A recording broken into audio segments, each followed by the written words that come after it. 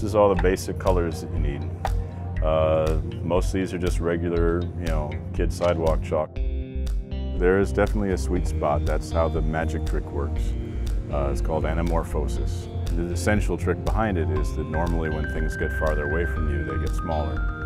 So in order to fight that and make the illusion happen, as something gets far away from you in the illusion, it has to get bigger in order to stay the same size. Trying to make sure there are many different ways you could actually make yourself part of this piece of art. And if I do my job right, there'll be ways people can interact with this art that I didn't intend.